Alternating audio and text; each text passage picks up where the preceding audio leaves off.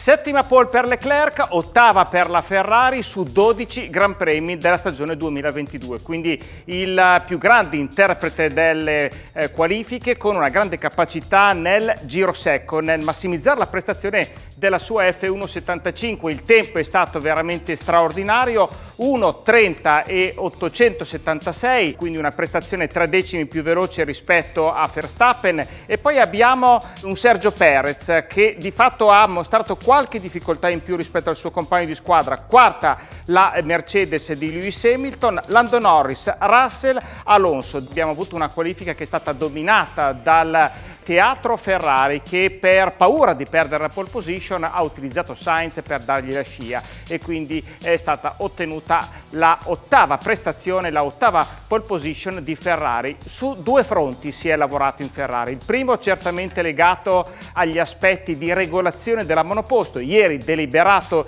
il pacchetto di sviluppo, ne abbiamo già parlato con il nuovo fondo che è in grado di generare più autosci e buttare fuori più aria, ma è già pensato per Spa-Francorchamps quando ci saranno i nuovi regolamenti della vettura più alta, ma oggi c'è stato un problema di sovrasterzo, soprattutto nelle curve medio-veloci, quindi non si è agito sull'aerodinamica della monoposto, sulla quale si riesce a dare più carico sull'ala posteriore e stabilizzare la monoposto, ma il sovrasterzo che abbiamo visto su Leclerc, con una vettura che in fase di percorrenza curva e in parte anche di trazione andava in sovrasterzo, è stato curato con il differenziale ma soprattutto con le regolazioni di sospensioni. È stato appoggiato di più il retrotreno con una regolazione decisamente più morbida che permetteva alla monoposto di rollare leggermente di più, appoggiarsi verso l'esterno e quindi stabilire una migliore prestazione del pneumatico sull'asfalto. Perché Ferrari ha lavorato moltissimo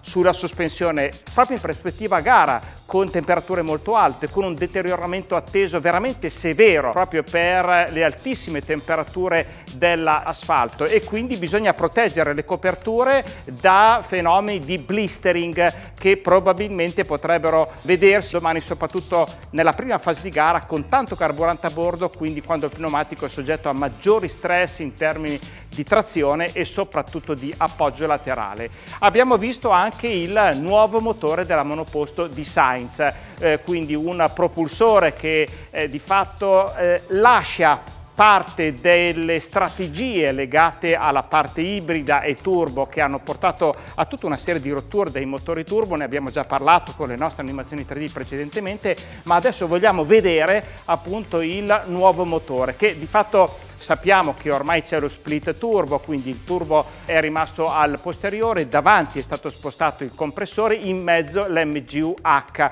Quindi con questa soluzione Ferrari riesce ad ottimizzare le prestazioni del motore, ma soprattutto ha impresso nuove strategie legate alla gestione della parte ibrida e quindi i flussi, i cicli di carica e scarica relativi alle decelerazioni e alla fase di accelerazione, la carica sulla eh, batteria, ma soprattutto anche anche tutta la parte di gestione diretta dell'energia elettrica dall'MGU-H all'MGU-K per ottenere un periodo più lungo di 162 cavalli di trazione elettrica. Bene, eh, questo è un panorama importante per cercare di capire le prospettive Ferrari nel Gran Premio di Francia di domani per cercare soprattutto di ottimizzare le prestazioni di due monoposto che avranno compiti veramente molto diversi. Leclerc partire davanti e puntare a vincere la sua gara gara, ma soprattutto un Sainz che partirà dal fondo, quindi dovrà fare una gara di recupero su un circuito dove ci sono almeno tre tratti dove si può tentare il sorpasso.